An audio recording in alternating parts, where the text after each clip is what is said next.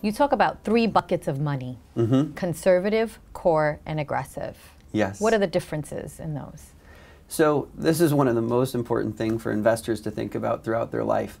I tell some stories and I kind of tease myself, but going back to that same 2000 uh, time period, uh, I fell in love with someone and uh, uh, we were going to get married and I bought a ring and uh, so you know we were going to get a house and I took all of this money uh, for her ring and I ended up putting into a, a technology stock and that stock went from basically $100 a share to $4 a share.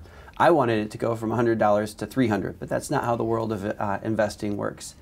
What I should have done is realized I had a very short time period, and so I needed to invest that in a safe way.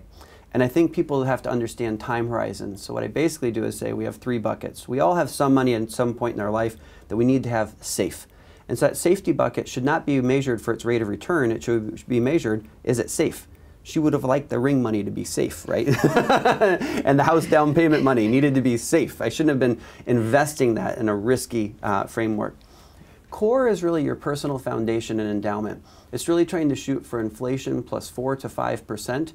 Um, uh, just that long-term kind of steam engine chugging down the track, not paying attention to the day-to-day movement of markets because markets will always go up and down. It's that long-term investment horizon.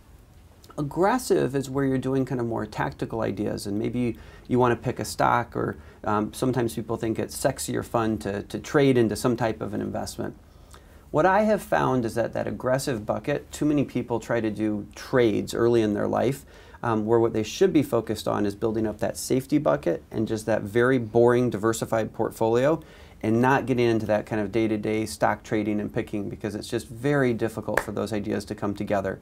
You might have one or two wins, um, but you have one or two losses and it offsets. And I tell some stories that kind of tease about my past in the book on that too.